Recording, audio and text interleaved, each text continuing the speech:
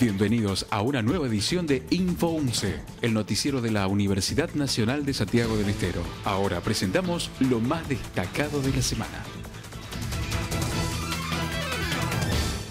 La Escuela de Agricultura, Ganadería y Granja festejó su 64 aniversario mediante un acto realizado en la sede del establecimiento ubicado en la localidad del Sanjón. Durante el acontecimiento se entregaron reconocimientos a docentes, jubilados y egresados de los primeros años de la institución escolar. Para finalizar, actuó la orquesta estable de la UNCE, bailaron alumnos de la escuela y compartieron un tradicional locro.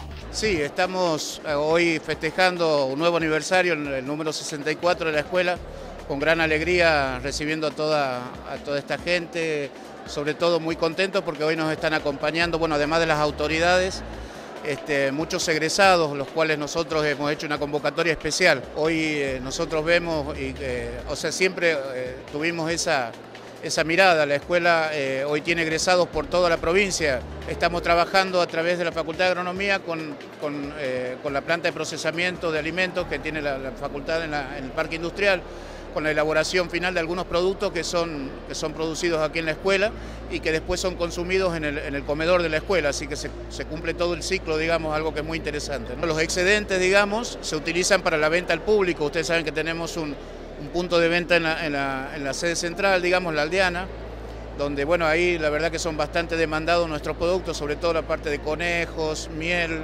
eh, bueno, eh, cerdos, eh, chorizos, embutidos, bueno, todo eso que se fabrica, digamos se publicaron trabajos estadísticos sobre la discriminación en Argentina en el libro Mapa de la Discriminación 2013. El trabajo fue realizado en conjunto entre las universidades del país y el Instituto Nacional contra la Discriminación, la Xenofobia y el Racismo. Una copia del ejemplar se encuentra a disposición de la comunidad en la Biblioteca Central de la UNCE.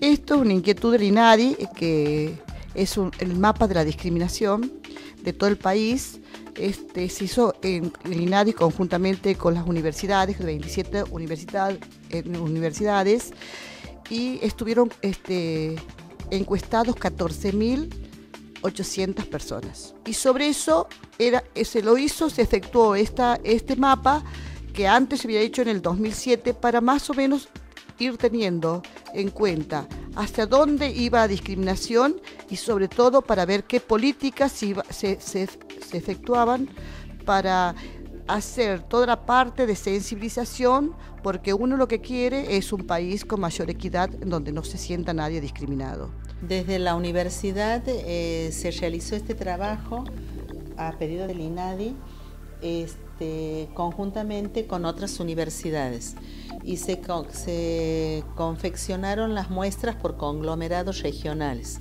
O sea, nuestra universidad participó con otras universidades de la región NOA. En este sentido, cada universidad tenía que poner un equipo de investigación, estudiantes, egresados, docentes, que puedan hacer un relevamiento que era coordinado, conducido y con asesoramiento del INADI. Y aquí también en la provincia de Santiago del Estero participó activamente la delegación del INADI, el gobierno de la provincia y la universidad a través del área de extensión.